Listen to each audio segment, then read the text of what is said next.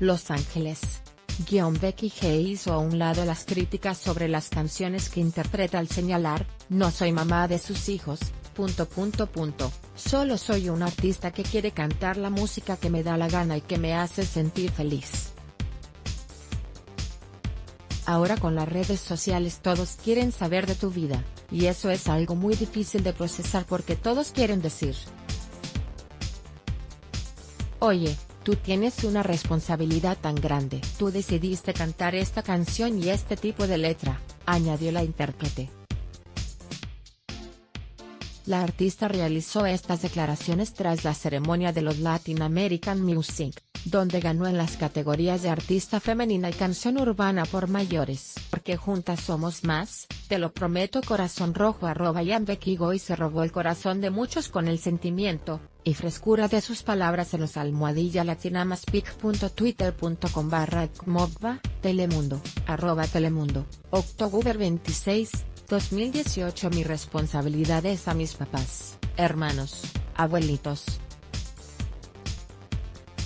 Si ellos me apoyan, lo demás para mí es un uno. Como todo en la vida, hay cosas positivas, cosas negativas y cada día es otra batalla.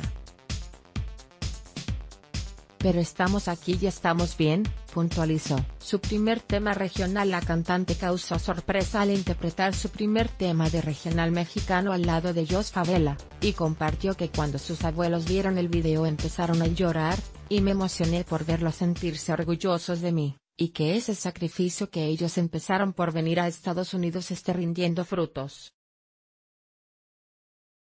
Mis abuelitos y mis papás son mis fans número uno.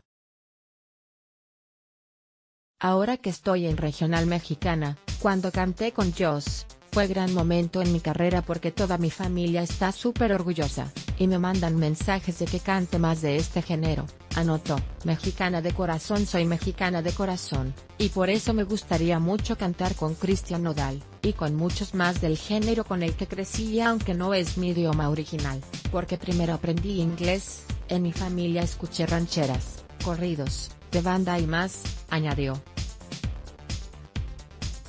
En sus inicios, Becky G cantaba en inglés, pero su carrera repuntó cuando empezó a interpretar reggaetón en español.